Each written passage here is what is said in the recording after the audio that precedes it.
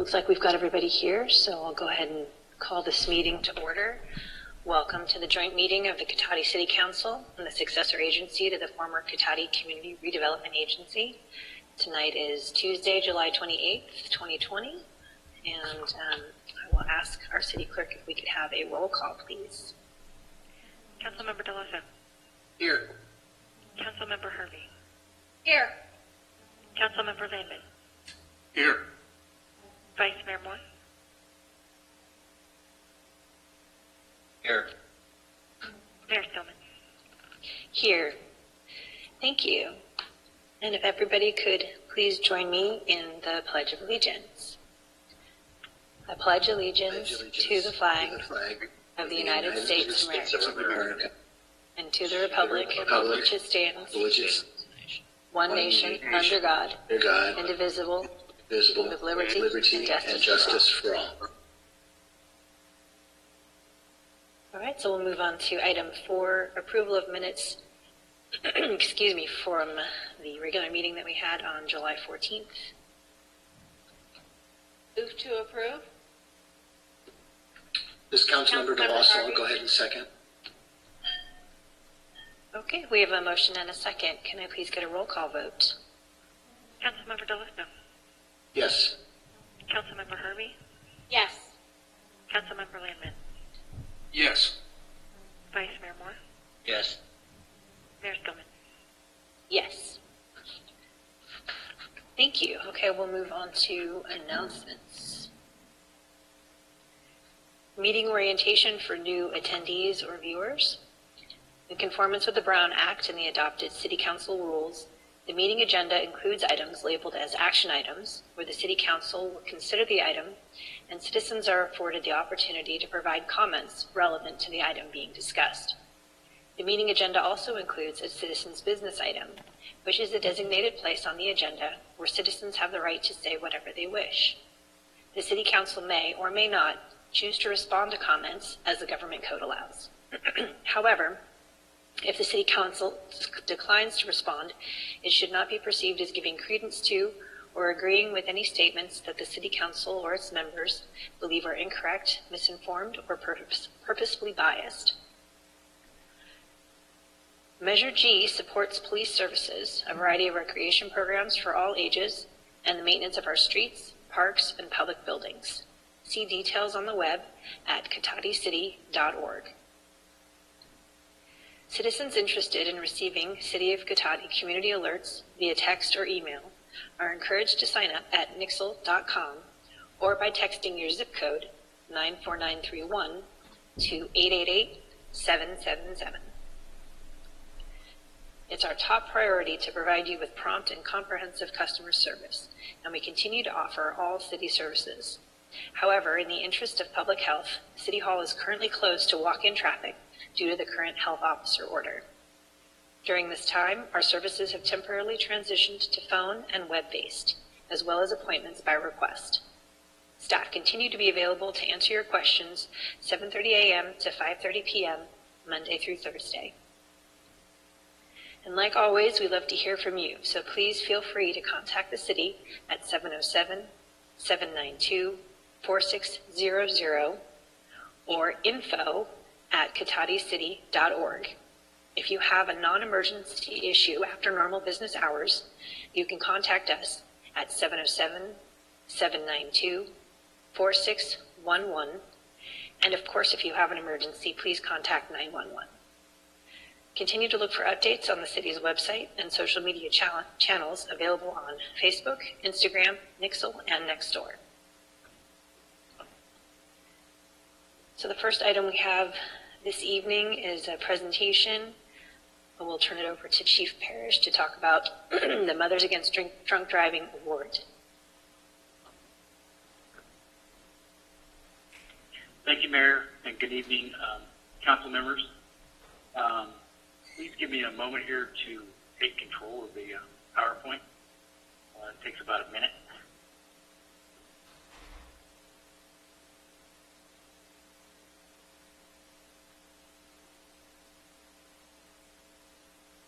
Or hopefully less.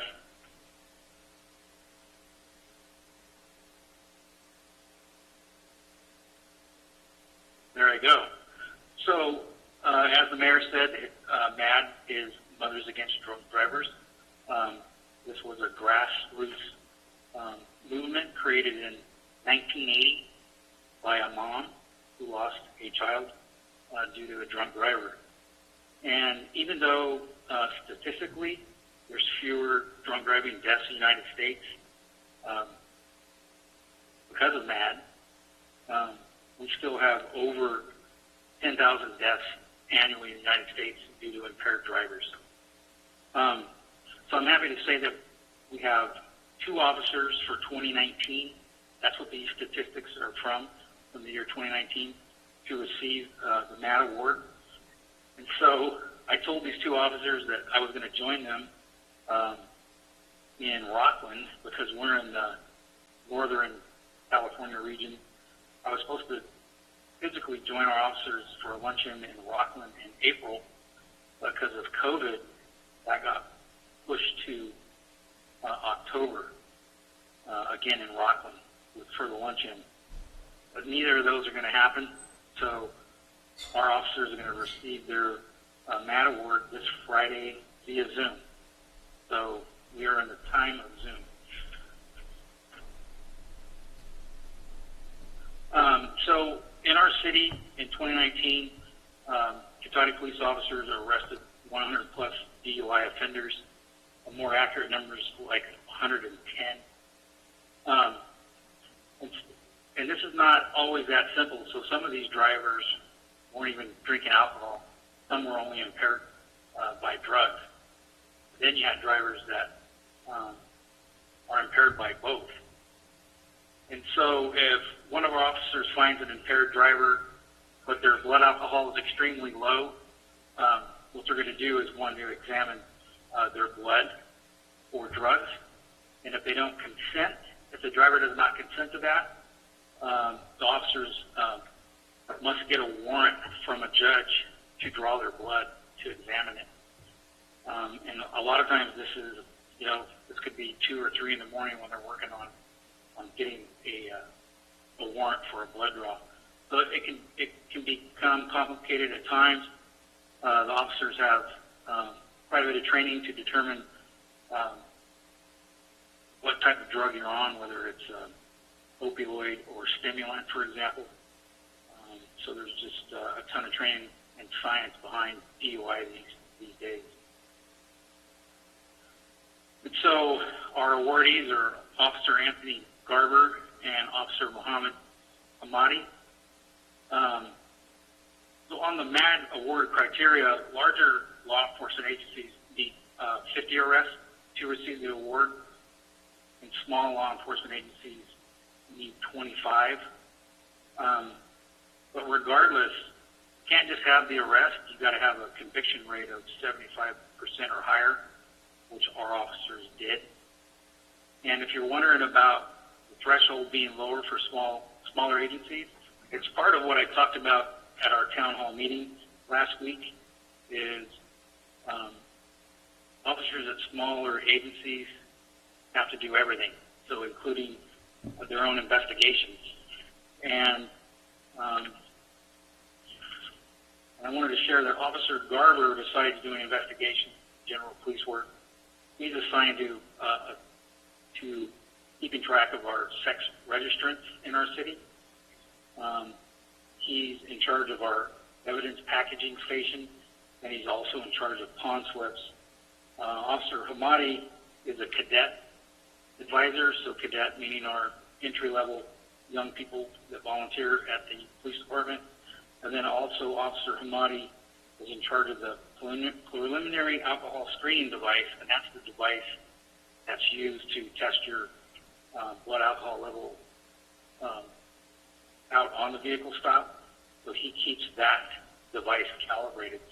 Uh, so they're busy officers, and uh, that's a lot of DUIs in a year.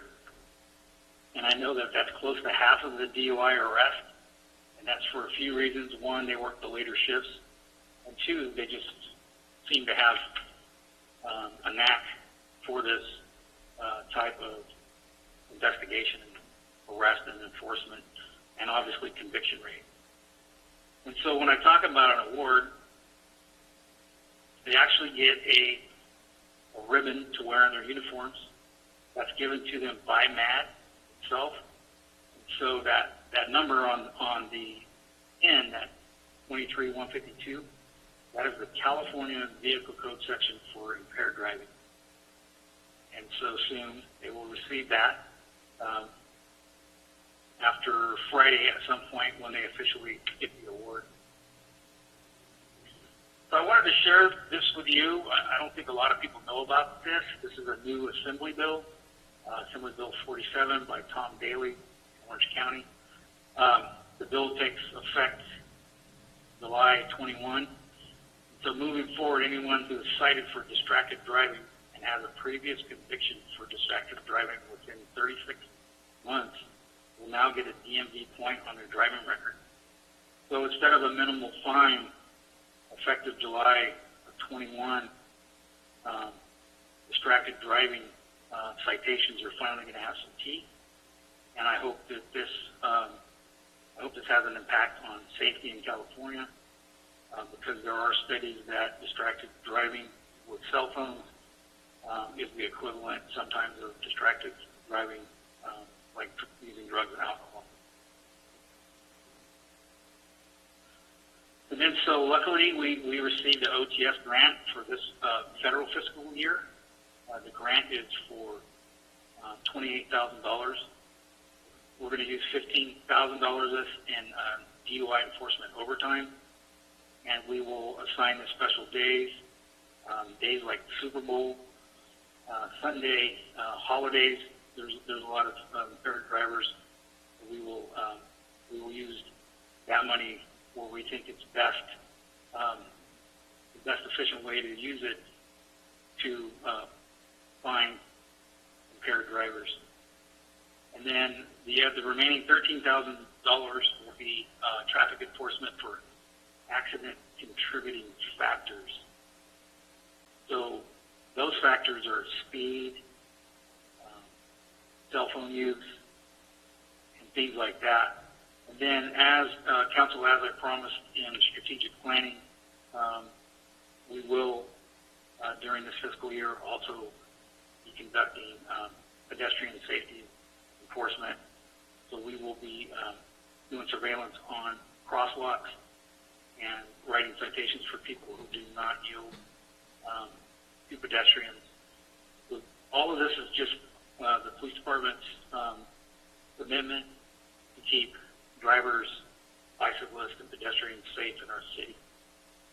And uh, Mayor, that that is um, my presentation. And I thank you for the opportunity. No, that's great. Thank you very much, um, Chief Parrish. It's great to hear we've got so many active officers uh, involved in keeping our streets safe. So thank you for the presentation. Um, next, we'll move on to item B, which is a second presentation we have tonight. Um, an informational presentation on the issuance of successor agency to the Cotati Redevelopment Agency tax allocation refunding bonds, Series 2020A. And for this, I will turn it over to Angela Corder. Thank you so much, Angela.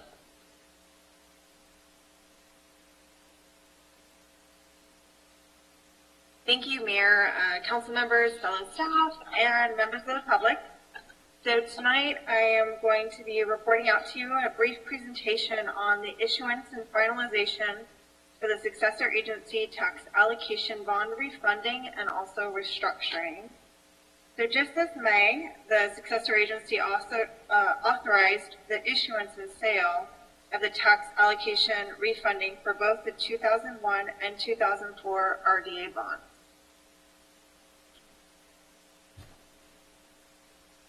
So the bonds had a combined outstanding balance of just over $8 million with an interest rate of just over 5%. At the time of the approval, staff anticipated that an interest rate would be reduced to just below 3% and would provide a savings of just over uh, $1.63 million. Due to these savings projections, the Department of uh, Finance for California, approved the issuance on July 1st, and we went out for uh, private funding for these bonds. So, the best offer we had for our interest rate was, came from JP Morgan Chase with a reduced rate of 1.29%. Um, from our municipal advisors, this is the lowest rate they have ever seen. Um, so this was a reduction of over 3.74% from our average 5.03% on these bonds which contributed to a cash flow savings of over $2.64 million over the life of the bond. And also due to the restructuring of these bonds, we were able to move those savings forward to these next three years, where we will be able to recapture approximately one, almost $2 million through fiscal year 21-22, and the remainder will have some trickle savings through the completion of the bond in 20 35. So the present value of the savings, so the total overall of the bond, we're saving approximately 23% over the bond.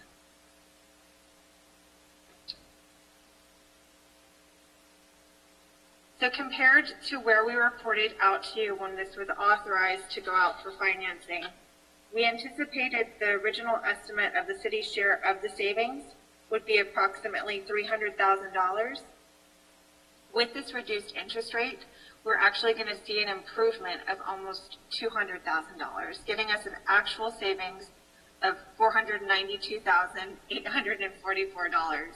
over the life of the bond. Um, overall, for all taxing entities, we had an improvement of over a million dollars. So just to show you how this allocation was going to benefit each one of the taxing authorities. You can see that we are just below the school districts where we have that benefit of approximately $500,000, um, where they are definitely the highest sharing savings and have the highest benefit of the $1.2 million. So this bond was completed today, um, and everything's issued and finalized, and we're going to get the rest of the final paperwork in shortly.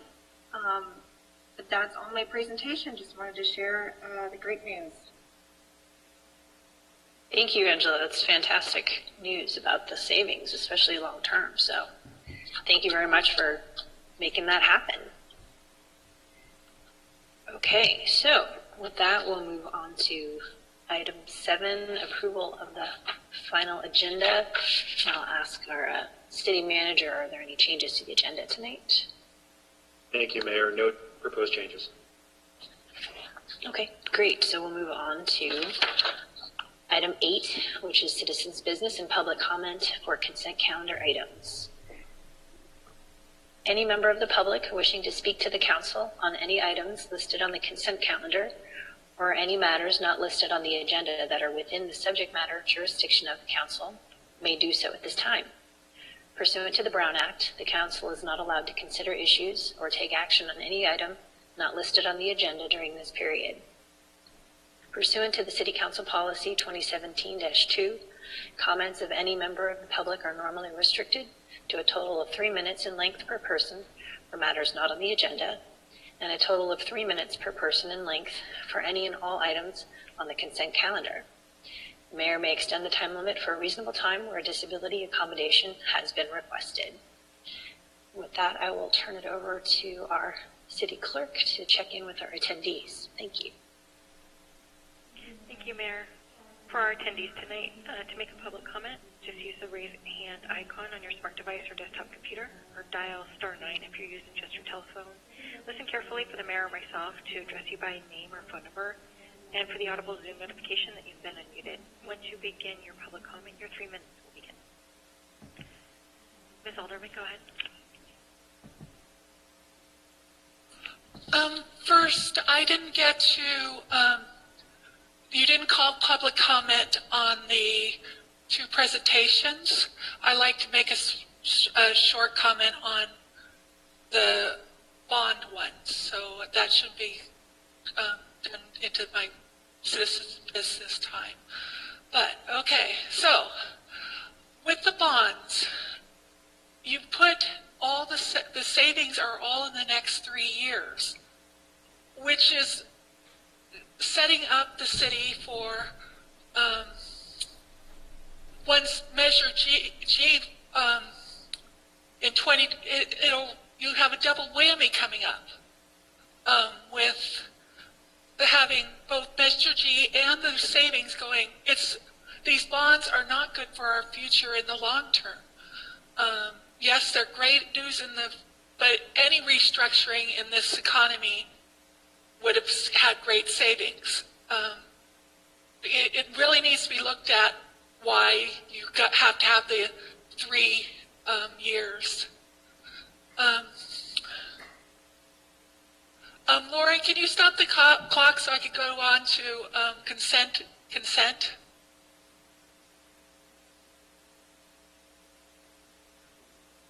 Okay, consent. The c- calendar. The um, I only have one item on that.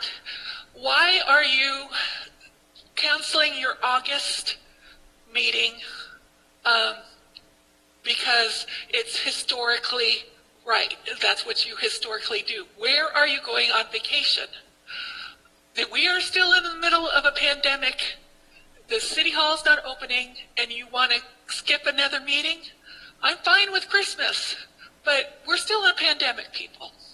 Okay, that's my citizen com- comment on the that, and I'd like to leave it all open that if anybody else speaks, um, I speak on basic citizens' business afterwards. Okay, thank you.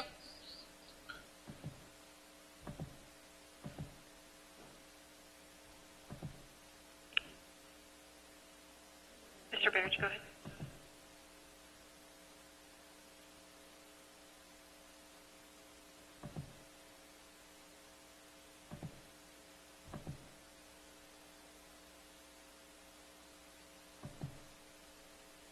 Lauren, it looks like he's still muted.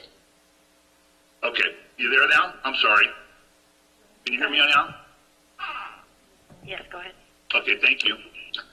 Uh, good evening, Council. Uh, George Barrett, former City Council member. Uh, on the previous issue of the bond restructuring and the new refinancing, I don't think it's all great news, and I'll tell you why. First of all,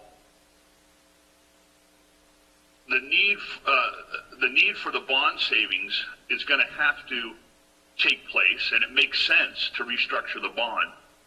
But Cotati is going to be expecting a lot less revenue coming into this city in the next few years.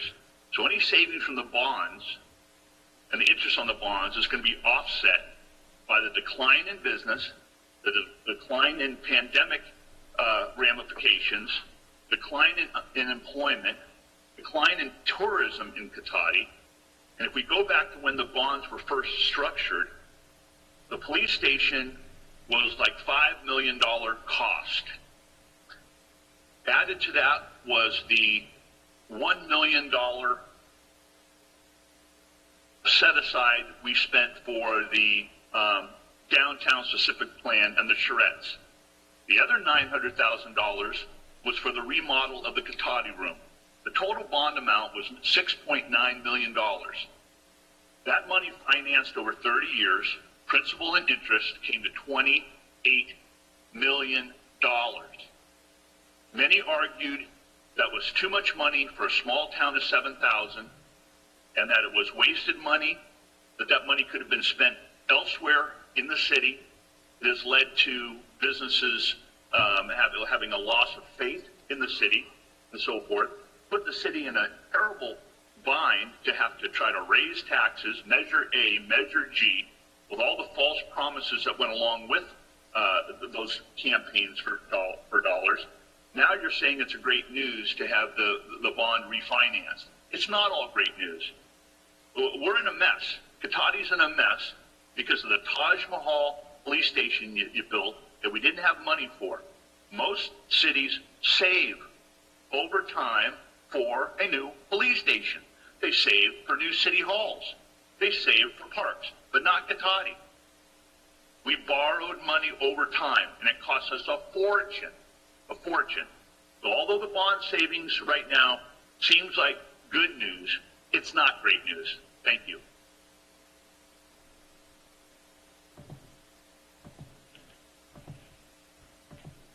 Mayor Skillman, that'll be it for public comment. Okay, thank you. Um, and I'll also remind um, folks that there's a public comment on non-action agenda items later on as well, so you can come back to anything you may have missed. So let's move on to item nine, um, the consent calendar.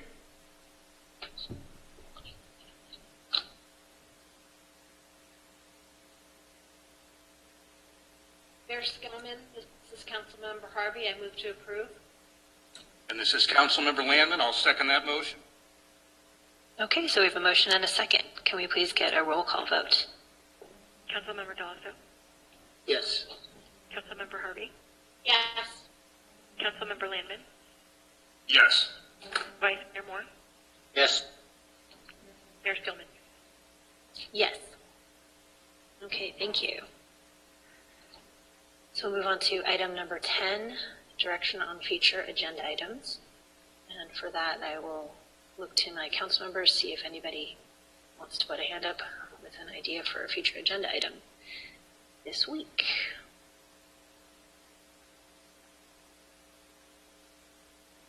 All right, I'm not seeing any rushes to raise a hand, so I will assume we're good on that item. And we will move on to our regular agenda, item 11A. And for that, I will turn it over to Damien to talk about the enhanced public education potential civil compliance tools to enforce the county health order. Thank you, Mayor, members of the council. So, um, as way of a little background, I think it's pretty fre- fresh in everyone's minds, but um, on July 10th, 11th, and 12th this year, Sonoma County recorded daily case counts of COVID-19 exceeding the limits set forth by the state public health officer and state of health officials, which resulted in the, um, the placement on the watch list and the closure of certain businesses and indoor operations for a period of not less than three weeks. Additionally, on July 13th, the governor announced that certain businesses and indoor operations that promote the mixing of populations beyond households must close statewide, and that Sonoma County must close indoor operations such as gyms, places of worship, offices for non-critical businesses, personal care services, and malls. This is the so-called so the second um, shutdown. And then prior to the state orders, Sonoma County's COVID-19 infection rates doubled in a matter of months, and hospitalizations and deaths um, have tragically continued to climb. And these statistics reveal a need to enhance education and outreach efforts as well as enforcement to incentivize compliance to protect community health and local businesses from additional closures. The um,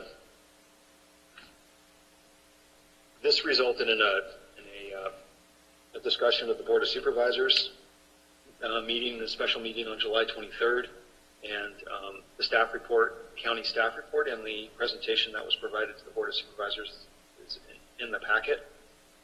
And um, the recommendations of the county staff basically fall into three categories. First being enhanced education and outreach.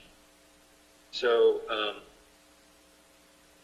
they wanted to expand what they um, what they already they have an existing Safe Sonoma summer campaign that they had already um, been moving forward on, but they the Board of Supervisors in the July 23rd meeting um, directed staff to expand that to include English and Spanish infographics, videos, radio, print, public service announcements, media communications, and website building um, to further the public education mission, as well as the addition of two new public information staff for up to 20 weeks.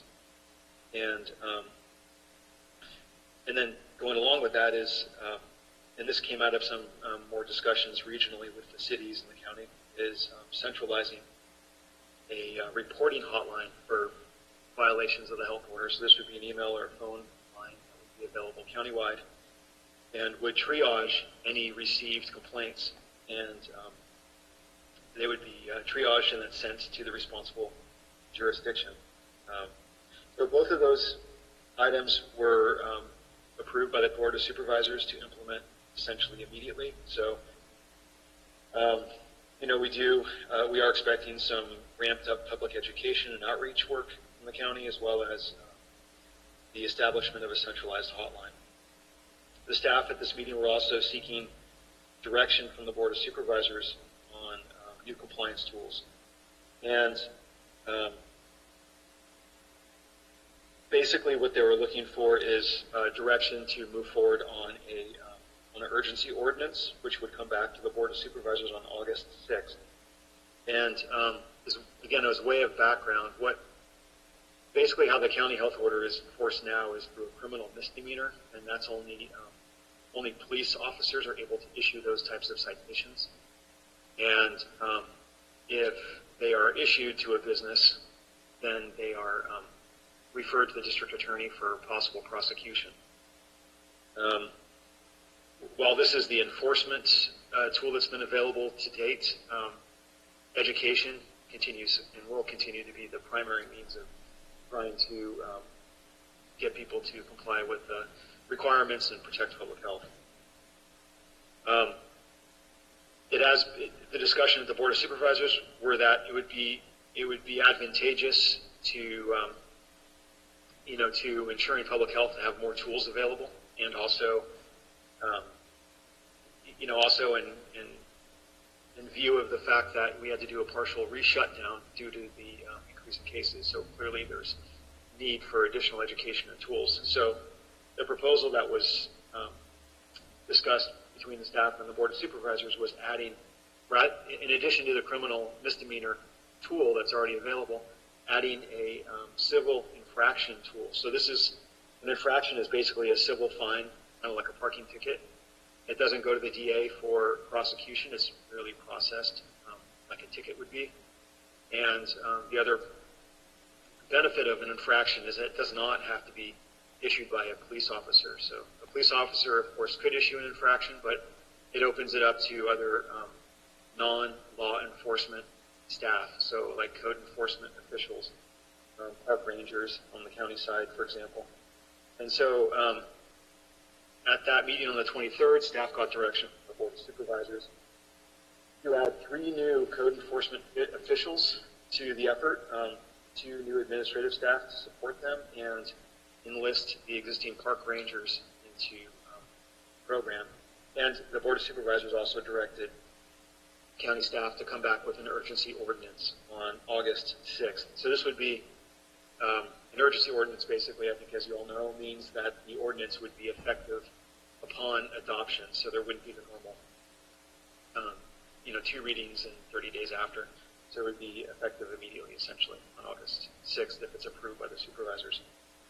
Um, at this time, we don't know a lot about that, about, about the urgency ordinance, and um, you know, we do know that the uh, that the county wants to um, coordinate enforcement in addition to the hotline that they've already um, been directed to establish. They're, they have um, expressed an interest, as I understand it, in um, coordinating closely with the state's task force. The state established a, a, uh, a compliance task force, and um, and also uh, coordinating with the local jurisdictions. Um, and in terms of how the infraction tickets could be um, issued, they could be issued under the county ordinance, is my understanding, or they um, local jurisdictions could create their own ordinance. And um, there's some mechanics questions there as to how those tickets would be issued under, you know, whose ticket books would be used. That would need to be um, uh, figured out still because we haven't seen the draft. We haven't seen what the county is proposing to bring forward. We've seen an initial draft of the emergency ordinance, um, but we haven't seen what the county is planning to take forward. So once the once the county um, has a draft final, and I think they've been mostly working amongst the um, city attorneys and the county counsel on drafting that urgency ordinance. Once that is pretty close to final, then um, then we'll have a better idea of sort of where the points of interaction are and um, any questions. But the uh, in addition, just a general informational update to the council and the community. Um, this item also is um, is requesting direction from the council to the staff to um, to review the urgency ordinance the county puts forward and provide recommendations to the council on um, on if we um, if we were in Cotati to use uh, either the county's infraction or um, uh, our own infraction or uh, nothing at all. So basically directing staff to, um, to evaluate what the county puts forward and make recommendations at the August 11th city council meeting. And then um, one more thing I just will say about the infractions is they did set the, um, you know, at least in the in the um, discussion on the 23rd, they were talking about setting commercial citations at a, this is the infractions at $1,000 and non-commercial at $100 per um, per citation. This um, this can be variable. I mean, there's other there are other counties around us, Marin County, Mendocino County, Napa County, that have um, adopted infraction ordinances, and they have um, varying amounts, varying fine amounts. And um, that table is in the PowerPoint that was attached to the staff report that the county provided. And um, the county was recommending that it's a flat, kind of a flat fee um, for the citation rather than the sort of sliding scale that some other places use to keep it um, simple and straightforward. Um, with that, I would be happy to answer any questions. Okay, so I'll bring it back to council and see if there are any questions. Um, yes, Councilmember Harvey, go ahead. So in the staff report, it said that um, in the financial considerations that there was none at this time. But when I look at the um, presentation done by the county, they talk about um, having a compliance team, and they talk about basically five new staff at a cost of 350,000 to $450,000. But it specifically mentions that it's for the unincorporated area only. So my question is, it sounds like there's an expectation that we in our cities would also have compliance teams. So can you speak to that a little bit? Sure. So I think um, it probably would entail some some closer coordination between our law enforcement in the county um, and also potentially our code enforcement in the county. But um, but it wouldn't necessarily be a change in our practice, you know, and how we um, go about educating the community and um, and, even enforcing. Other than it, if if we were to um, use an infraction tool, it would just be another option available to try to gain compliance rather than going straight to a criminal misdemeanor. So our intention from a city perspective, at least at this point, is to not add any additional staff to um, keep people in compliance. Is that correct? That's correct. Yeah, there wasn't there wasn't a. I- we don't think there's a need to add additional staff. It's really just, um, you know, it gives it gives our code enforcement officer the ability to issue citations as well as the police um, at an administrative level rather than it being a you know misdemeanor that gets referred to the DA. Thank you.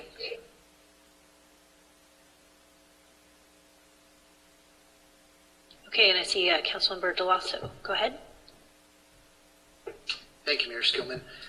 Uh, Damien, um, the one question I had, because I, I don't remember if I read this in the report related to Sonoma, for, it was for another location, but was there any discussion with, um, and I guess I'm going to call it a sliding scale, but specifically towards additional infraction by the same individual or business? I guess I'm not remembering that that was in there or not. Yeah, I don't believe so. I think it's a it's a flat citation amount per violation, and usually that's viewed as like each. Typically, it's like each day violation. Yeah, and, and you know, looking at some of the other rates in the, in the presentation that was attached, um, they, they seem to be all over the map, and some of them have a slide from you know twenty-five dollars to five hundred dollars. It's quite the gap there, and um, I, I guess the uh, I don't know if we're too late in the game to make a suggestion to the board, but you know, or to the county to bring to the board. But is that hundred dollar fine not an incentive enough for some of the people who continue to defy not wearing a mask and, and some of the other issues that are out there, you know, should it be a little heftier? And if it's going to be the same amount per infraction, then I would be interested in seeing that being slightly higher. I, I don't have a recommendation right now. I'm open to it, but I think, um, you know, hundred dollars is is a chunk of money, but I don't know that it's incentive enough to get some people to wear a mask. Yeah, I think the, um, so the hundred dollars, of course, is for non-commercial. Um, there Right. probably wouldn't be a lot of those kind of citations, generally speaking. I mean, um, you know, it typically tends to be more commercial related, um, from our experience so far. And, um, it, it can add up fast and, you know, the, um, the discussion that's been going on is, is, uh, you know, if you, if you're issuing administrative citations to, um, like say, a business of some type because they're out of compliance and it's a public health issue. Um, you know, once you've been sort of issuing them citations for a bit, um, then at some point, if they're just not, if you're not gaining compliance, then at some point it could become criminal misdemeanor, and the DA gets involved, and you know, it, that, that's sort of the escalation of, you know, of a case where and, that, and that's pretty rare. I mean, there's, there's a handful in the county that have happened, you know, where they've escalated to the point where it's been a criminal misdemeanor and then even a lawsuit the county. And it's like in Santa Rosa, for example, there was an example there, and um, a couple others elsewhere in the county. Right. So it's really the escalation route that I think is the compliance, um, the, the thought around how to gain compliance if people are just unwilling to um, do it on, on their own. Okay. Um, yeah, I, I'll, I'll have some other thoughts after public comment, but um, I was just trying to clear that up. Thank you for that. Okay, and I see uh, Councilmember Landman, you've got your hand up, so please go ahead. Thank you, Mayor Skillman. Yeah, I share my colleagues' concern about that. I, I do think that might have changed since the staff report was written. It's a little difficult to tell, parse from the Press Democrat story, but if you read it, it mentions that the county staff would have the authority to issue citations for businesses that would be on a sliding scale from 500 to 10,000, and they mention that's 10 times greater than initially proposed by staff. And I, won't read the rest of it, but I think that matches much closer to what Mendocino, Napa, and, and other cities, Yolo, are doing. So I suspect, and I'm hopeful that sticks because I think it was necessary too. So I think they're moving in that direction. I guess we'll know for sure on August 2nd, but I just thought it was worthy to point that out because that is an important thing. I think the initial proposed flat fee just isn't going to do it. You have to have something that's more realistic, uh, that works as a tool to motivate that small percentage that will be scofflaws and repeat offenders. And I think with rates as proposed matching with some of the other counties that are ahead of us and have already done this, those will tend to do that motivation.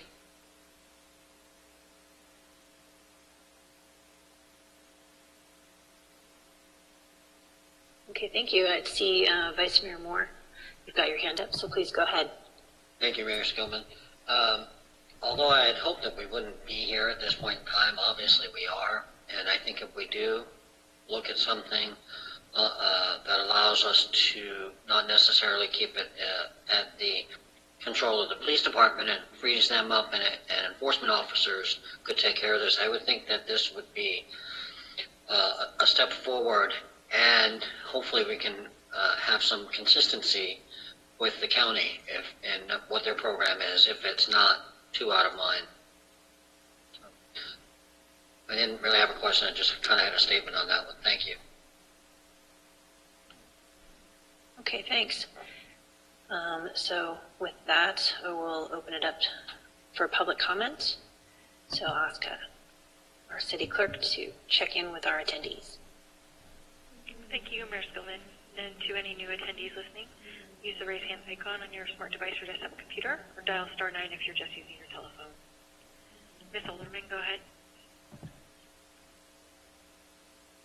Um, on I don't know if any of you were listening to the Rohnert Park um, council meeting right before this, but they had a, a lively discussion about this. Um, they said the county is not communicating with the nine cities and at all, and all the mayors are upset and all that, and they don't want it to be where certain cities have different um, levels of compliance. Um, like everybody would go to Cotati because we didn't reinforce it. Um, and especially Rohnert Park wanted to um, work with Cotati. So I think you guys need to really start talking to the so, and but it sounded like the county is totally out of whack with what the cities want. So I think a lot of these questions will be um, will be answered by the when they figure out with the county. Um, and I just wanted to tell you tell a story about enforcement and things like that. Um, my mom grew up in World War II in England near a um, bomb factory, and um, they were they were they were almost nightly bombed. Well, um, if somebody left on a light, the community would, um, um, you know, of course, chastise them for it, but they also get a major fine from their city, um, from the you know, the town for endangering this the um, the well, health and welfare of the city. And I mean, this that's an extreme example, but I think we do need to and have some kind of enforcement and fines. So that's just my opinion. Okay, that's it. Thanks.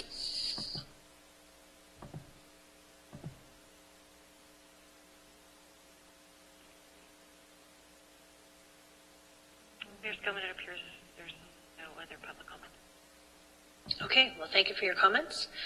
Um, and I will bring it back to council, see if there are any further comments um, or direction.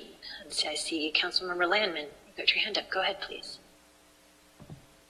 Yeah, I, I, I think it's clear that this is the price that we pay, uh, us as a county, the state, really the whole country, as we can see right now, for the kind of open up frenzy that we went through. I think some of us knew at the time that this was too early and too quick. And I think hopefully now a lot more of us recognize that fact. And unfortunate as it is, I think there's one small benefit. At least it's clear now that we all have to take this a lot more seriously. And I think part of that is getting serious about a coordinated approach to have better enforcement of the safety rules. Uh, endangering, somebody mentioned that is a perfect term. That's exactly what's going on. Uh, and I think by ensuring compliance, we help protect everybody's safety. So that's, I think that's just what we should be doing.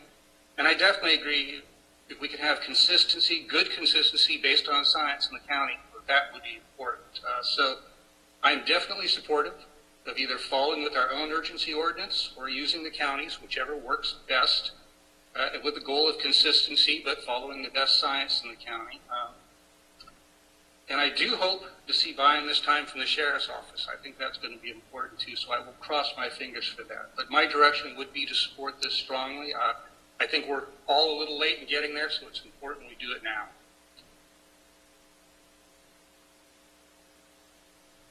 Okay, thank you. I see um, Councilmember Dell'Osso as well. Please go ahead. Thank you, Mayor Skillman. Yeah, it, um, you know, the collective we um, have been doing education to the public as the science has evolved on this, because that's their science. It does evolve and you learn. Um, and education hasn't been as effective for a minority that are out there. And few defiant ones that are out there that a fine would or might be more effective tool. Um, and I coordinated approach countywide is the best thing to do. We can't have, you know, we've talked about this with things like plastic bag bans and so on. When you're trying to do something you, you need to have a much more coordinated effort and not just, you know, nine or 10 different options for something like this in the county of Sonoma with the nine cities in the county. So um, I would strongly agree with that. And um, I, I, yeah, I think that's uh, really, it's kind of simple. Um, but I say that we do push forward on this and um, I, I'm going to relax from the figures and not come up with any figures, but um, it's a starting point for now. Thank you, Mayor. Thank you. And uh, Councilmember Harvey. Uh, yes, uh, Mayor Skillman, I know yourself um, attends um, weekly meetings with the other mayors in the county on this, so I don't know. It was mentioned that that um, this hasn't been discussed, but I, I think that you guys meet on this weekly. I know that um, Damien sits in on some city manager and county calls um, on this. So I think there is um, collaboration going on. Maybe it sounds like not as much as um, everyone would wish. Um, and having sat on enough of the countywide committees and JPAs and things we have that, you know, they aren't always as smooth as we all want them to be. We ultimately seem to get there, um, but um, we do definitely have highs and lows in getting ourselves there. Um, I, I view this as, you know, no different um, than any of the other things that we work together on as a county. I think that we um, are better when we work together and come up with solutions because our people you know, don't just stay within our cities. They go all over the county. Not too different than, you know, you see across the country where some of these other uh, states, which are the size of, you know, some of our cities, um, are working together to um, come up with things because they know that their people um, don't stay in one place, that they work one place and their kids go to school one place and so on and so forth. So um, I think it's good that we're trying to get a consistent message out. And I think that, um, you know, fines are there when we can't get compliance, but I do believe that, you know, having a consistent message and getting that education, which I know that um, most of our officers have been trying to do, um, is to educate people. I think that that's the key. And yes, you will get people that will just not be compliant because they, you know, for whatever reason. There's lots of reasons out there. All you have to do is go out on the internet. But anyways, um, I think education is key, and sometimes you have to use that stick to um, get people moving in the right direction. So, thank you, Mayor. No, thank you. And, um, oh yes, Vice Mayor Moore, go ahead. Uh, Thank you, Mayor Skillman. Um, I just wanted to comment on the meeting regarding the mayors and council members. I did um, fill in last Friday for Mayor Skillman, and conversation did come up with the representatives of the cities and uh, Supervisor Gorin. Um, and we are looking to get a, uh, a concerted plan in place so that uh, it is consistent with the county. So um, they, there was no decisions made at that meeting, just a conversation regarding that and working with the county to come up with that. Um, so that's in the works. Uh, I would imagine we would see something sooner than later before their next meeting uh, to talk about what that's going to look like. But I would support um, a, a, greater um, incentive to comply uh, with the um, concerns right now. So I would be in support of something that, again, is consistent with the county. Thank you. All right, thank you. And uh, yes, and we do have our weekly mayor's meetings, which has started since the shutdown. And um, it's been a great tool for making sure we all have the same information, um, communicate with each other about what's going on in our own cities as well as what's affecting the county as a whole. Um, so that's been very beneficial, and um, I appreciate you, uh, Vice Mayor uh, Moore, stepping in last week. I was definitely in no shape to attend last Friday, so I'm glad that you could step in. And um, I agree too with um, my fellow council members that uh, education, outreach, um, consistent messaging is all very important, um, and really just to try to turn this thing around. And um, I think it's a, a, good option that we're talking about doing an infraction because um, obviously to go from zero to misdemeanor is a little bit um, harsh, especially when it could be a first time in, infraction um, or well, there I'm making a pun without even meaning to, but it's the first time that somebody's been in non-compliance, then um, it's better to at least have that option, and then also being able to uh, provide backup for our law enforcement officers, um, just providing more tools in the uh, toolbox, as they say. So anyhow, hopefully that's enough direction uh, for staff, and um, I can also do a uh, follow-up uh, email after this coming Friday's meeting um, on the subject so that I can keep everybody in the loop as to what the Board of Supervisors is, is planning. Um, so is that enough, uh, City Manager Obid? Yes, Mayor, thank you. That's perfect. Got it. Okay, great. So with that, we will move on to item B, the local revenue extension measure. And for that, we will turn again to City Manager Obid. Thank you. Yes, thank you, Mayor, members of the council. So, um, since the voters approved Measure G, the city has used this to, um, to adequately staff our police department. We added a traffic officer assignment to improve traffic safety throughout the city. We added a new maintenance worker to improve maintenance of our public infrastructure. We restored the recreation programming and we invested uh, to date 4.3 million in restoring our streets, parks, and public buildings. And um, just by virtue of having um, a guaranteed source of local revenue, the city is able to also leverage that to bring in, to date, an additional $3.6 million in grants to improve, um, to improve the community. And the details of all the expenditures, as, um, as you know, are contained in Measure G reports, which are reviewed by the Citizens Oversight Committee and, um, and are posted on the city's website. In recent surveys of Cotati residents that were completed a year, over a year ago in January 2019, and then earlier this year in March, and most recently, um, we followed up in June and July of this year as we reported back in the prior council meeting. Maintaining the local police department and 911 dispatch, uh, natural disaster preparedness, fiscal stability, and street repair continue to be the top priorities of the community and the continuation of this vital local funding will have a significant impact on the city's ability to provide the level of services, emergency preparedness, and infrastructure that the Cotati residents expect and rely on.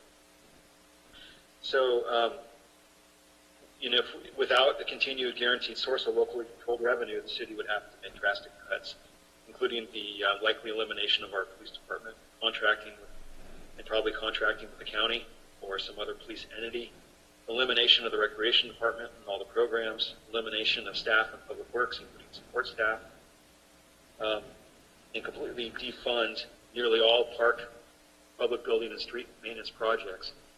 This would revert services to bare minimum to function as a city, reverse the progress made with voter-approved Measure G funding, and allow city infrastructure to fall into disrepair, which will only be far costlier to repair later.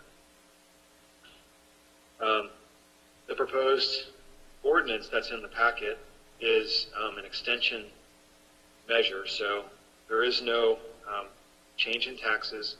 It's merely extending the local revenue measure until um, until repealed by voters. If the attached resolution is adopted, the extension measure would be placed on the November 3rd, 2020 general election for, for the voters, and all other aspects would remain the same. So that would include annual audits of the funding as well as Independent Citizen Oversight Committee would continue to review expenses annually and a public meeting and report those to the council. Approval of this item requires an affirmative vote of two-thirds of the city council, so four or five, and, um, and then subsequent approval by the majority of the voters at the November 3rd, 2020 election. And um, despite much progress since the passage of Measure G, the city of Cotati still has a backlog of millions of dollars in street and sidewalk repair projects and park projects um, that you're all familiar with from the street master plan and also the park master plan. And they need to um, they need to be addressed. The street projects and sidewalk projects in particular need to be addressed for the safety of all residents, and the park projects just for the quality of life in the community. If the measure is not extended, almost all infrastructural work will stop as, as it will no longer be financially feasible. As I mentioned, coupled with dramatic reduction in services, including, again, including the elimination um, of our local police department and recreation department and significant service reductions in public works and across all city departments. Um, the last thing I'll mention is that there um, that there is a cost to run an election, but um, this is a uh, this is a a regular council election cycle, so that um, the funding for that has already been appropriated in the adopted budget. And um, a measure like this uh, can um, can generally only be placed on a a regular um, election where a city council member, city council seat is up for up for uh, election. So even even years for Cotati. Um, with that, I would be happy to answer any questions. Okay, thank you. So first I'll bring it back to council, see if there are any questions. Um, and I see Councilmember Landman, you have your hand up. Please go ahead. Thank you. Yeah, I get some of the things you described, the hits, like the loss, potential loss of the police department, definite loss of recreation, reductions in public works, uh, defunding of parks, any street maintenance. I, I get that because we actually lived through that together almost a decade ago. But one other item that isn't as severe but is still important I wanted to ask you about. We mentioned that we do have still a lot of millions of dollars in street and sidewalk repair projects that we want to do for the safety and improvement of the town. But what's not mentioned here is what the ongoing costs are in deferred maintenance with roads. Because we know if you let roads get bad, they're real expensive. Like I've heard numbers of up to seven times more cost to take care of it. We see some bigger cities or even the county, they get behind in this and they can almost never catch up where we've actually managed to get ahead of it in the last four years. I know it's hard to ask right off the cuff like this, but you can give me even a rough estimate of what sort of savings eventually we could get to on an annual basis for the public by being able to stick with that road work and getting our roads to a point where they only need minor annual maintenance? Well, um, so we every uh, every couple years we do the pavement management planning process, and um, that's uh, that's um, it started off by a visual inspection, basically a rating of all of our streets, and so they assess the current condition, and then they um, put together a plan to repair the pavement or maintain the pavement, and that that's what generates the uh, the cost, you know, over the time horizon of the pavement management plan. I I don't have a I don't have a, uh, a specific estimate, but I can tell you that right now, um, even continuing to do the paving work that we already have programmed, um, it's still, you know, millions of dollars. And if you basically stop doing all paving work for, you know, even one year, and you know, every year you add to that, it's going to probably add, you know, a couple hundred thousand dollars more in cost ultimately because the streets basically um, past the inflection point where they um, can't be preserved with maintenance type treatments. They have to be basically totally reconstructed, which is, as you said, something like seven times more expensive than just doing maintenance treatments. So it's a really inefficient use of of our community's um, resources to to let things get to that point and basically have to rebuild them. Um, you're essentially building new roads at that point rather than just maintaining the roads you have. Yeah, I, appreciate, and that's actually a pretty good estimate. That's that's helpful because you can see that say roughly 200K a year, doesn't take that long to start getting to some pretty serious numbers. Um, so I think of all the concerns that could happen with a loss of funding to keep Cotati going forward, this may be one of the more minor ones, but it was, I still wanted to bring it up because I think it should be listed on there because that's something we as a community had hoped to turn the corner on. I know a lot of people out in the public really liked that, and it would be a shame. It would be a shame from my perspective, at least, to see that go away. So, so thanks for that information. That's helpful to me.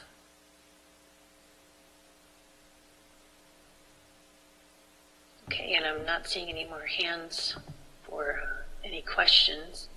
Um, I, I was just going to comment quickly, though, too. I, I do appreciate that this keeps at least a portion of the sales tax just in Cotati. Nobody else can take it, which I think is fantastic. Um, so anyway, with that, I will open it up to public comment and uh, ask our city clerk to check in with the attendees. Thank you. Thank you, Mayor Skillman. Ms. Alderman, go ahead. In this presentation I've heard, not one of you are mentioning a couple things. Why we're having this res, where you need to put the vote on for November, it on November when it doesn't expire until um, 2023. Um, and why you made it a permanent one instead of having it sunset, say another nine years. And the, these, and you won't answer my emails to find out what, how it can be, how this could even happen. And you've written the resolution so that um, it doesn't mention that the effects are not. Um, um, you make it sound in all the resolution that the effects are immediate. They are not immediate. They happen in 2023 when it sunsets. And you need to be very honest with this, with the, this has all been misleading. We didn't even know about this coming up other than Kevin Fixler's articles in the that sales tax was coming up. We hear this last Friday that you want to put it on the November ballot. In the middle of a pandemic, in an economic co- complex, you're given no reason why it has to be in this November, um, other than you were taking advantage of the pandemic and the economic collapse. Who knows how many people are going to have to move or change places or change, you know, how this this election is going to be affected. You should be delaying this at least till next year.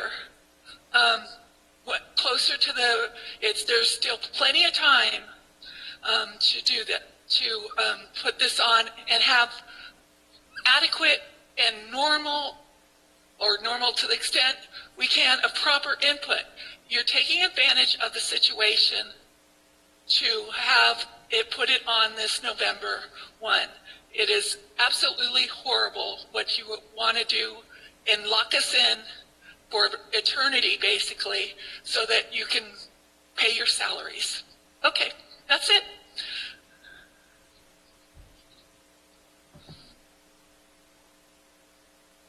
Mr. Go ahead.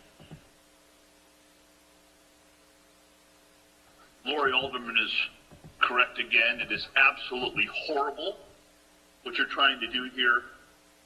The city council 10 years ago promised that Measure G would sunset. They went all around telling the public it's going to sunset. We need these temporary funds to help the police and so forth. And it was all a big lie. I told people it was a big lie. That once these people get a hold of your taxes, God knows what you're going to do with them. You talk about the safety of the residents. You people have never cared about the safety of, of the residents. We see this by the way that you you have neglected street repairs for over a decade. City manager Obeid had said when he was city engineer, Cotati can't possibly repair and replace the streets at the rate that they are de- deteriorating. That's a direct quote. You've been trying to play catch up, and then for a couple of years you didn't hardly pay anything on road repairs, and now you're trying to stack the deck right now to put the tax back on the ballot. If you want less of something, You tax it. That's economics 101. If you want less economic activity for Cotati, you go ahead and you raise the taxes and watch commerce leave, watch tourism leave, watch our local residents go to neighboring neighboring towns where they can get a sales tax uh, reduction and so forth. You also said that uh, Measure G was only a half percent sales tax increase, when in fact, both newspapers reported that it was a full 1% sales tax increase. So you lied there. And the, and the community caught you in that lie. You said it was to save the police. It didn't save any of the police. All it did was make, make Chief Parrish's retirement and his salary packages uh, huge and grotesque. That's all it did. Didn't put any more police officers on the street. We still only have one or two officers on patrol at any one time, if we're lucky. You squandered the Measure G money.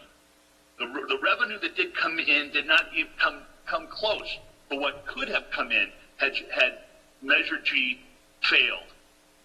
Cotati would have seen enormous sales tax, sales tax activity and more commerce in Cotati had it not slammed over the head the consumers of Cotati with Measure G.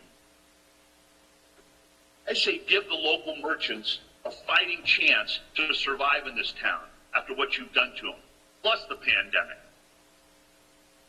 A permanent tax increase will be the death of this town. Don't go there. You've already lied. You're gonna, you've been caught on it, and the public's going to know about it soon enough if you go down this road. Thank you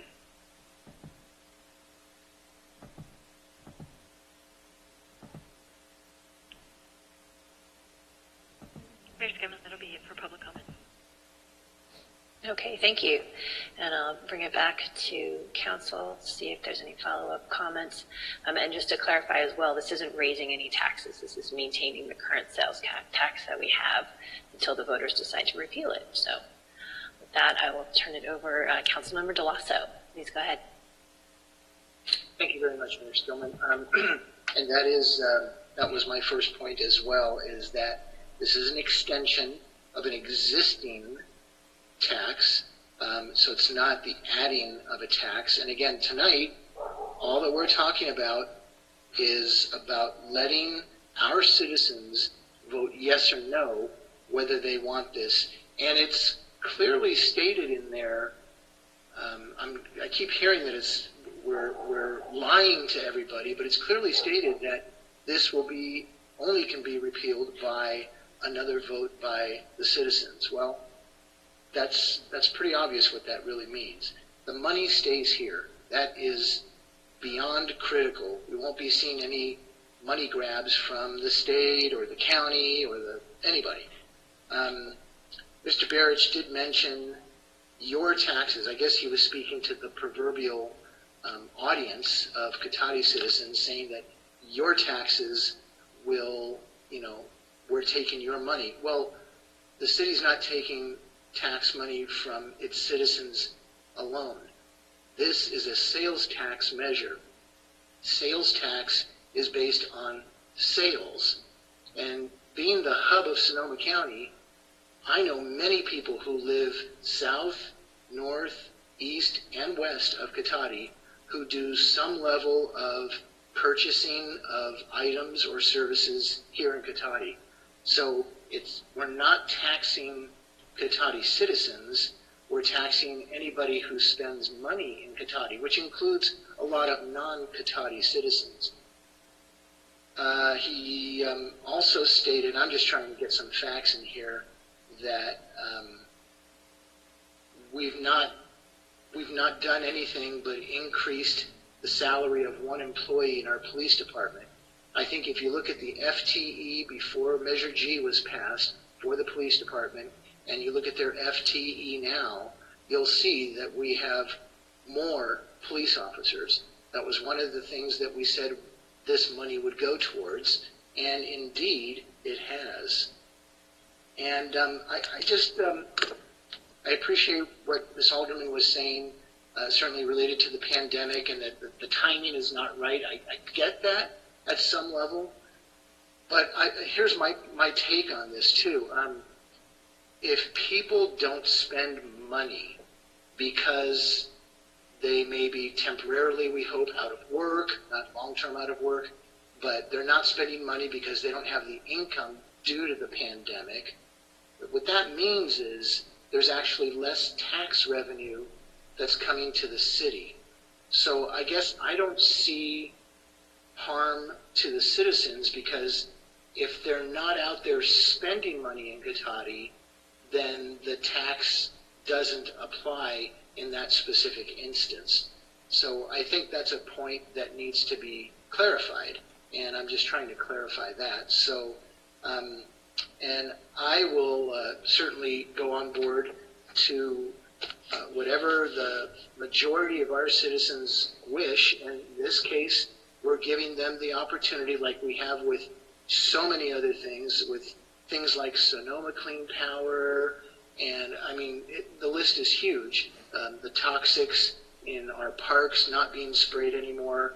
We're going to give this decision to the citizens, and that's what I had for this evening, Mayor. Thank you. All right, thank you. And uh, I see Councilmember Landman, you have your hand up. Please go ahead. Thank you, Mayor Skillman. Yeah, I'll- start off with just a few corrections to the record here.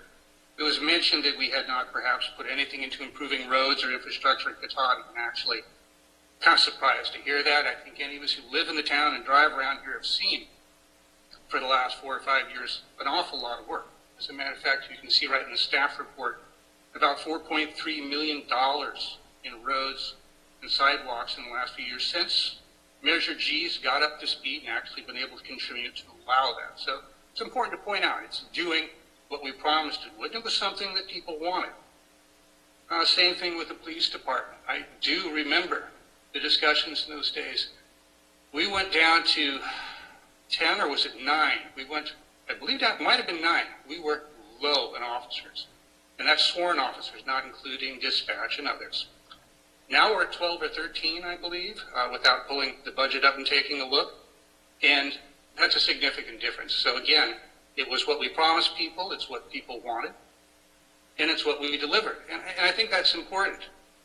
I remember a statement somebody made, oh, probably about the time of Measure A, talking in general about tax measures, and said that so many of them, they keep coming back asking for money, but they never seem to get their house in order. And that stuck with me because I do feel, as a citizen who pays for these things, at times some revenue measures, I do see that. And I vote accordingly over the years. But in our case, we've actually done what was promised. And more importantly, I think Measure G has actually been given the chance to prove that it works. Uh, and I think the community sees that. So the real question is simply, yeah, this is a difficult time. That's for sure.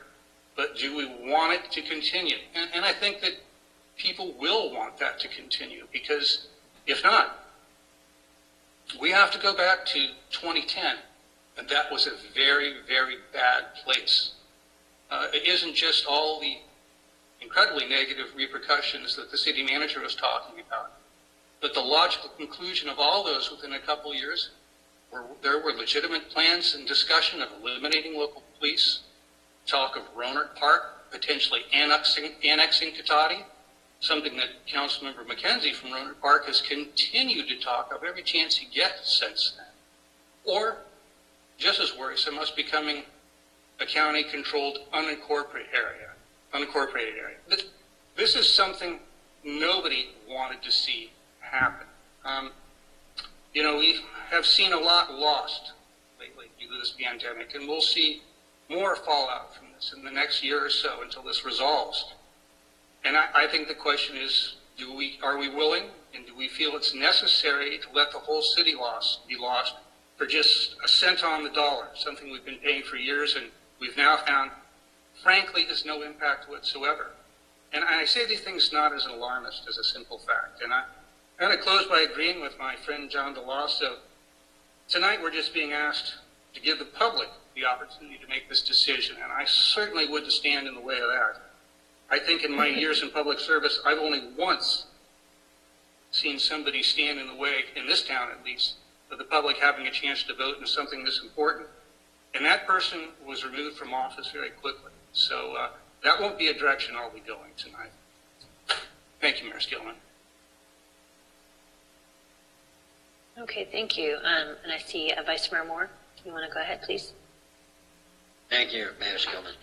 Um, I just wanted to kind of to to talk about this, and I would certainly agree with uh, my fellow council members, Dell'Osso and Landman. Um, it's really simple.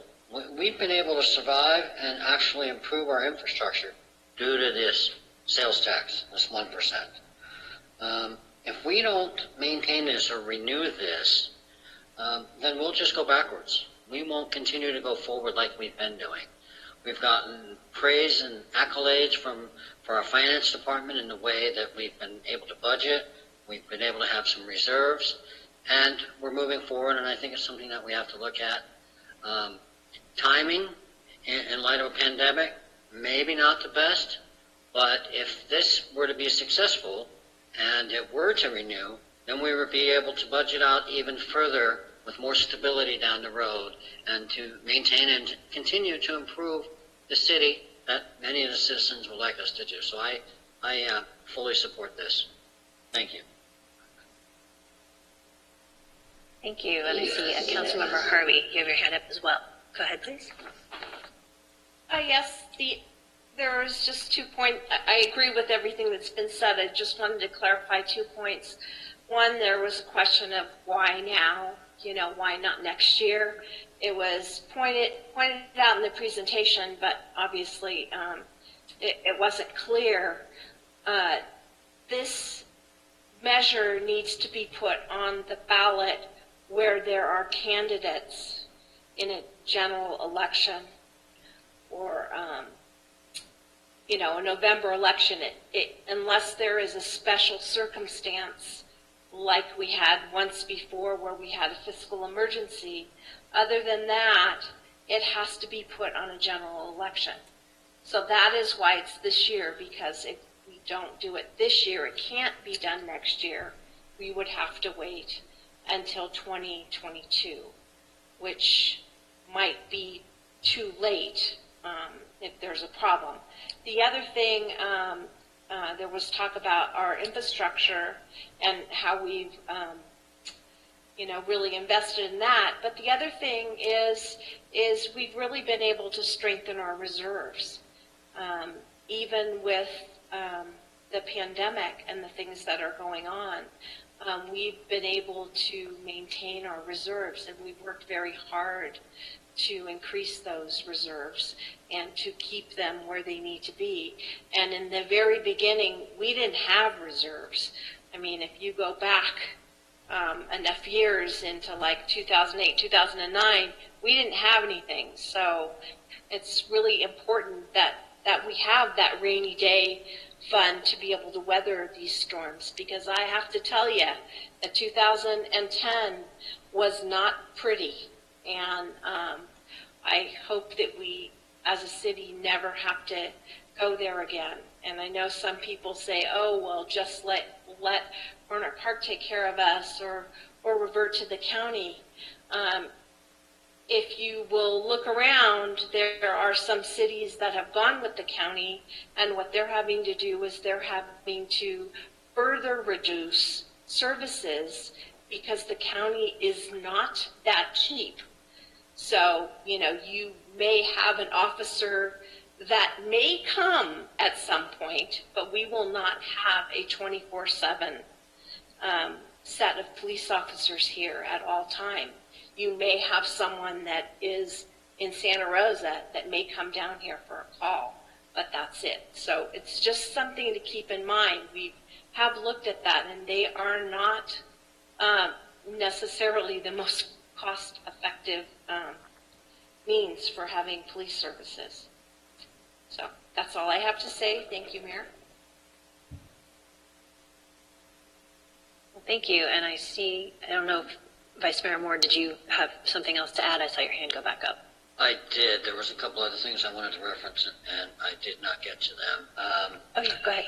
Thank you very much, Mayor Skillman. Um, as far as I know, and, and this has been going on since the original measure of a half a percent and then the renewal of that at one percent, I am not aware of any business throughout the whole city or any individual citizen that has moved out of Cotati because of a half a percent or a one percent sales tax. So uh, I don't know that that's really uh, a strain on the businesses here. And then secondly, I would never take away the ability of the citizens of the community to vote. Um, because as we know, that's, that's, that happened previously.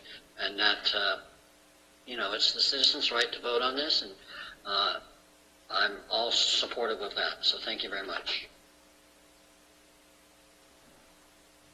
Okay, thank you. And um,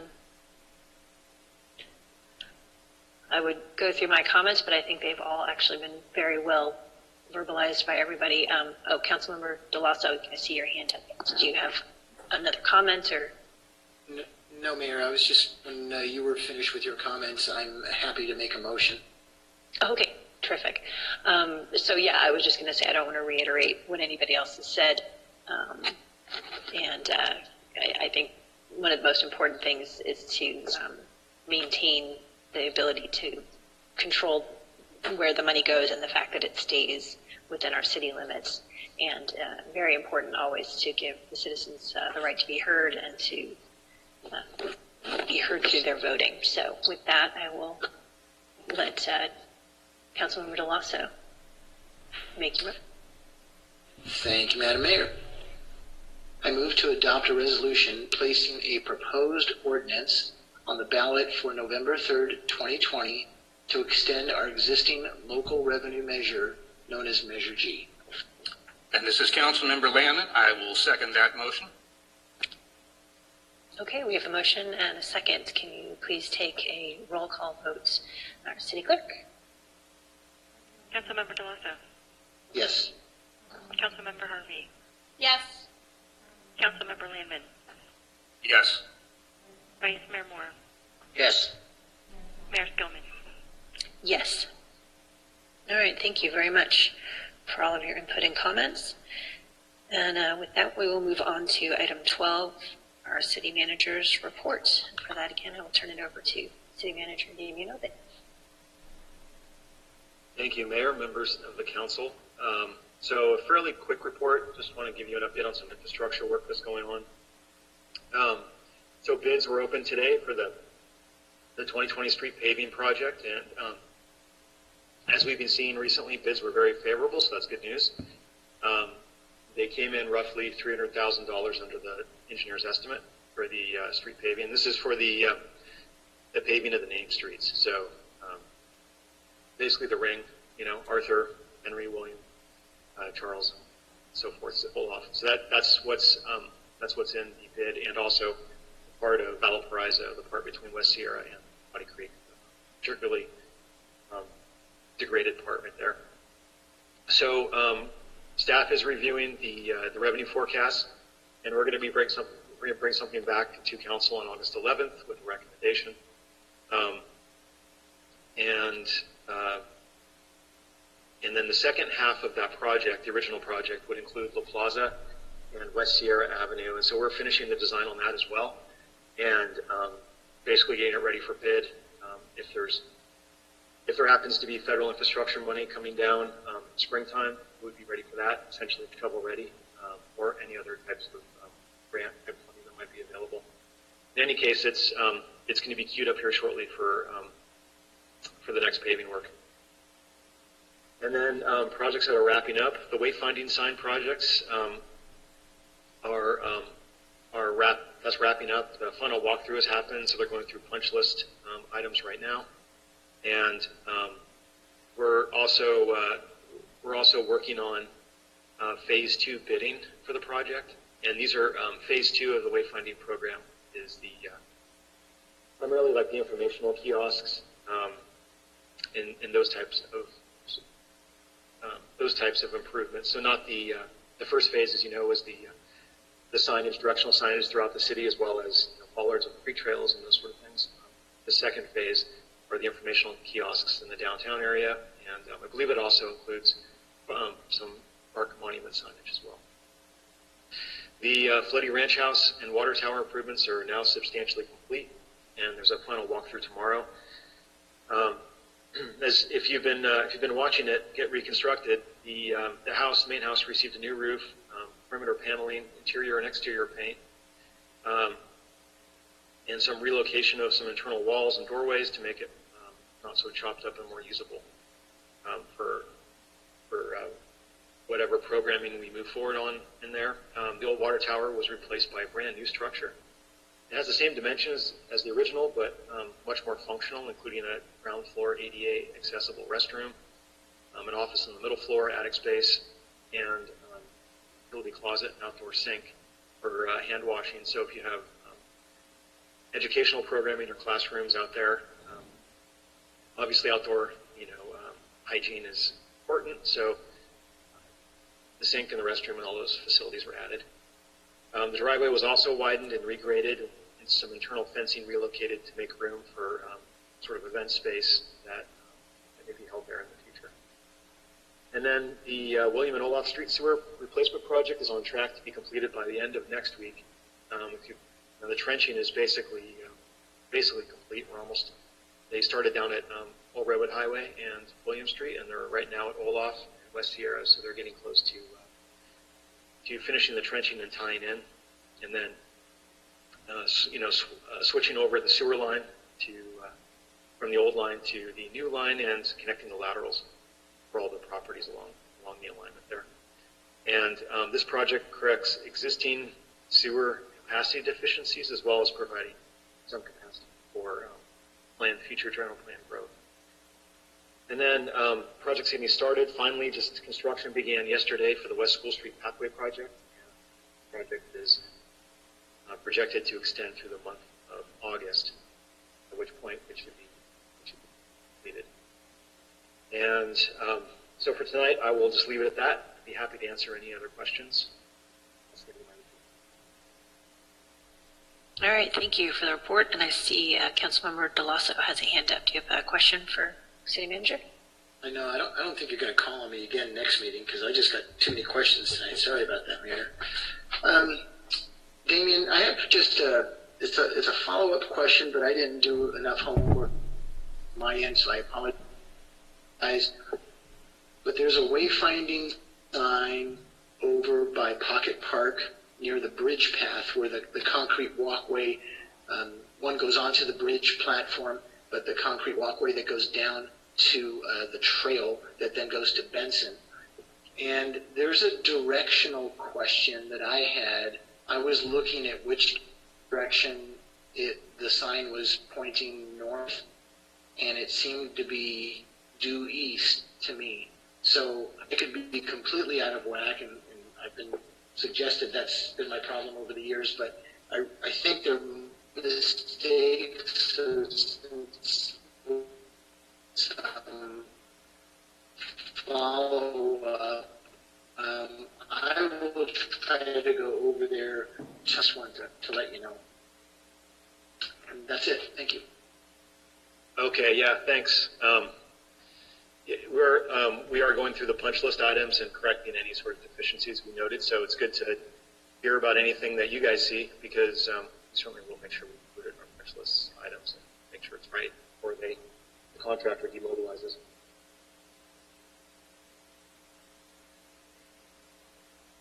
Okay, and I'm not seeing any more hands going up with questions, so thank you for that report. And uh, we'll move on to item 13, which is City Council members' reports. Um, so I will check in. Uh, Councilmember Landman, do you have anything to report out this week? Yeah, just one very small, short thing. Uh, I think this might be helpful, at least for Mr. Scott, from our, for our Public Works Director. And it has to do with our last meeting of the Russian River Watershed Association, which was last Thursday. Uh, at that, we completed and approved uh, some guidelines the technical working group. Uh, the technical working group at the RWA is composed of staff members from all the cities and county people from the two counties that actually fall within the watershed and are members of the RWA. And this was done just we recognize for years we worked fine, but we continue to get new people that come and go, and sometimes there's a lot of questions. And it was recognized that having guidelines for what exact the responsibilities, and the roles are for people on that group is something we should have and it would be helpful. So we do have these now. So as we get newer staff members, I know we have a newer staff member from Rohnert Park that just joined. We're hoping this will be value for them. So I just wanted to share that tonight. Other than that, uh, nothing to report. Thank you. Okay, thank you for that very concise report. Um, I'm not seeing any other hands. Um, oh, okay, Councilmember Harvey, do you have anything to report out this week? Um, I attended the um, Waste Management Agency meeting the day after our last council meeting, and the only significant thing to report um, is there was a very lively discussion around the um, household hazardous waste, and we have been trying for some time to um, find a location to have a more northernly uh, facility because the people in Petaluma and Cotati use the one at um, the central landfill a lot, but um, the farther north you get, um, it gets less and less used. So we've been trying to attempt to site another um, place for that, but um, we are finding that it's extremely expensive. It could be anywhere between $4 million and $10 million, which is a lot. Um, so we were looking at some other possible options, and staff is going to be um, bringing those back to us. So some of it might include um, expanding the household hazardous waste collection events. Um, you know, right now we do up to 25 a year, and maybe we could double that and and pick up, um, you know, some more of that.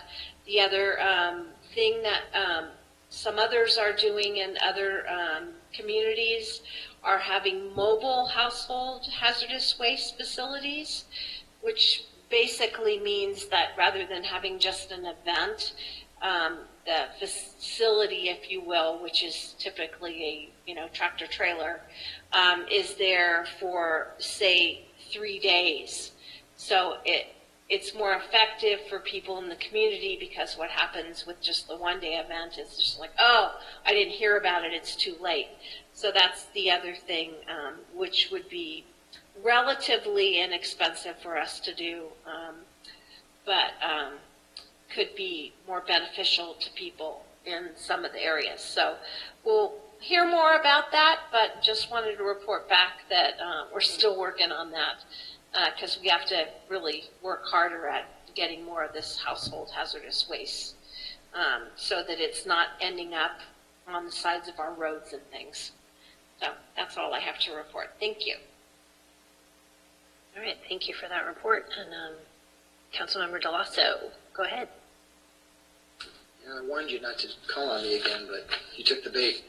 Um, the only thing about was uh, a meeting that we all was on hall last week, and um, uh, people called in, and we had very constructive uh, comments and discussion and questions from 10 or 11 different individuals. So um, I, I also wanted to thank Chief Parrish for not only the information he provided before the meeting uh, electronically on the website, but uh, the presentation that he gave.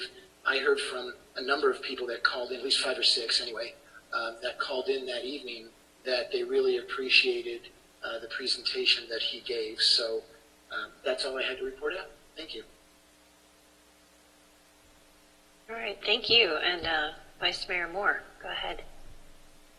Thank you, Mayor Skillman. Um, there was a couple of things. Um, I wanted to follow up on some of the other information that came about from the mayors and council members meeting and some of the things that they're answering about.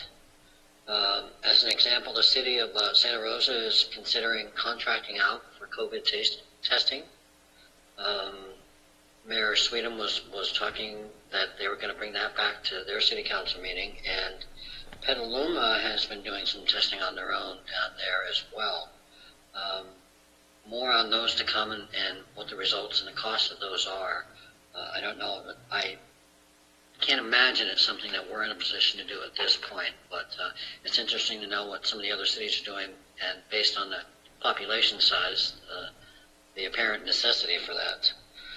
Um, they also talked about, and you may have read about this in the paper recently, the um, the suspension of the uh, drinking in public ordinances in the various cities. I believe Healdsburg and Windsor are allowing open containers from the uh, restaurants and bars, and they can go sit outside and even away from the front of the location into the parks and things like that.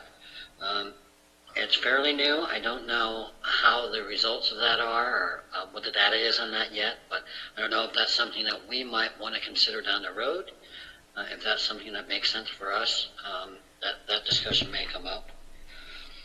And, uh, and then lastly, we also had a REMIF meeting, and that was a closed session meeting, so I don't have anything to report out on that, although I would like to see some of our uh, participating neighboring communities run their um, public safety departments as well as we run ours. That would be great. So thank you. That's all I have to report out. Okay, thank you for that report out. And uh, the only thing I have to add, excuse me, um, in addition to our weekly mayor's meetings that we were talking about earlier, um, I'm excited to hear that the library advisory board is uh, getting ready to do its first Zoom meeting, so I'll be participating in that, and that's in a couple of weeks. Um, so just happy to have some return to a little bit of normalcy, even though it will be by Zoom, so it's the new normal. And uh, that's all I have to report out.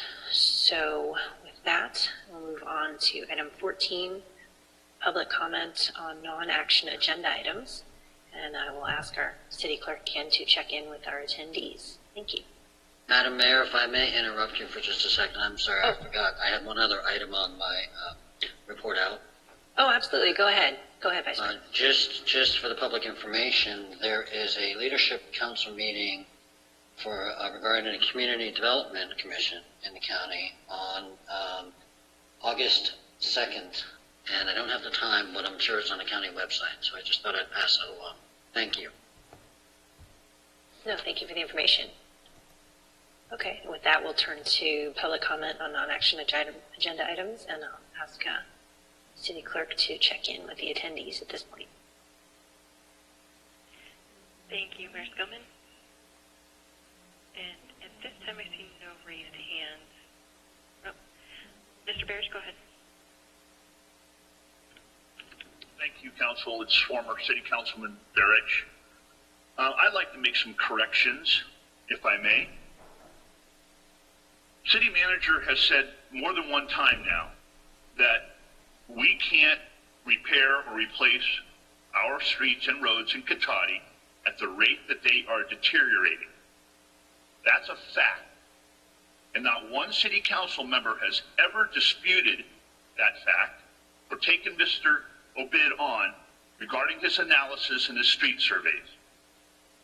Two, no sunset on Measure G is basically a tax extension. That's what it means. And it's a break of your solemn promise, along with Bob Coleman, if I remember right, a solemn promise that the, the, the measure would sunset and give the community a break, a breather. Now, we all know who is hurt the most with the sales tax increase? Come on, kids. The poor. Google it.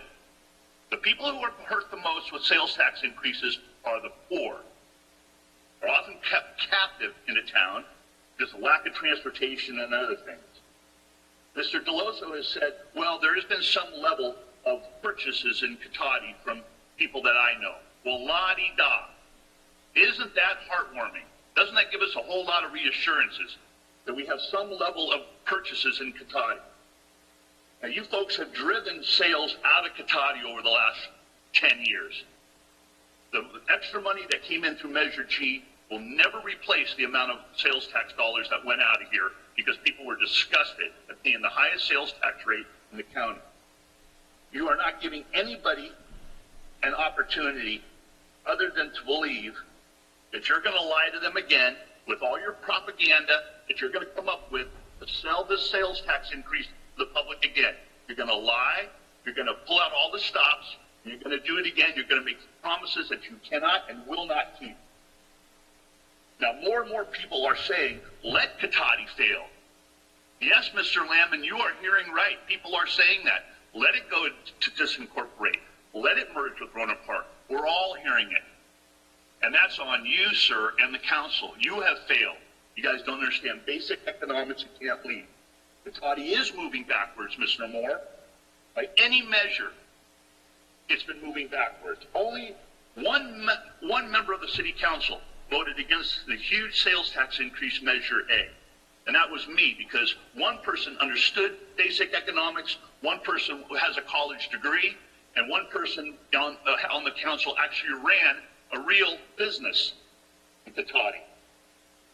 Cotati's had no reserves in 2008 because they were wasted.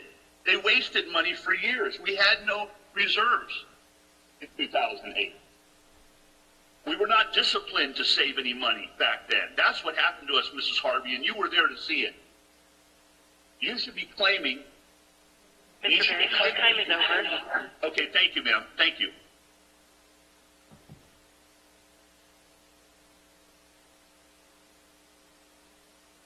Ms. Alderman, go ahead. Um, you really all disappointed me this evening. Um, I knew there was no chance of actually you listening. You didn't deal with why it has to be a, um, it has to be a non-ending, it, why doesn't sunset, why you have to put it on, really, why it can't wait to 2022.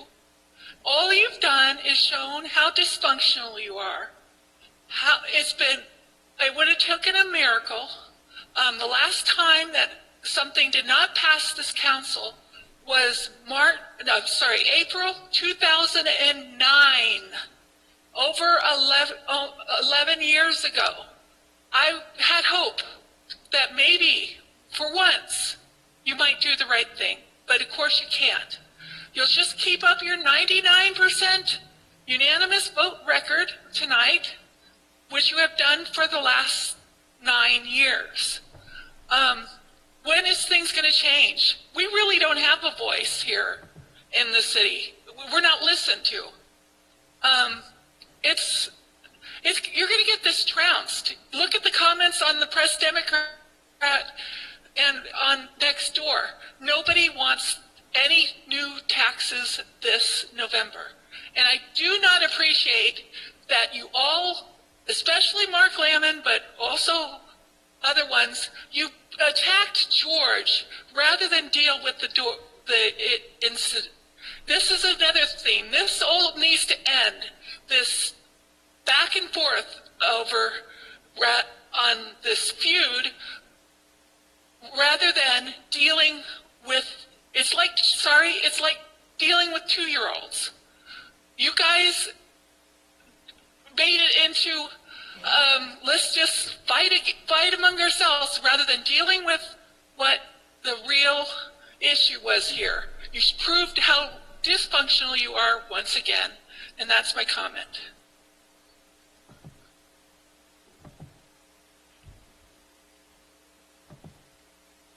Mayor Skillman, back to you. All right, thank you. And we'll move on to item 15, and I'll just check in with our city clerk. Was there any information received after the agenda was posted? I'd seen there was an email that was included in our uh, public comments. Was there anything else? Nothing further. Okay, terrific. And with that, um, we will adjourn this meeting at 8:49 PM. Thank you, everybody. Please stay safe and practice all of those good habits we're supposed to be getting into, masks and six feet away. All right, take care, everybody. Have a good night. Right.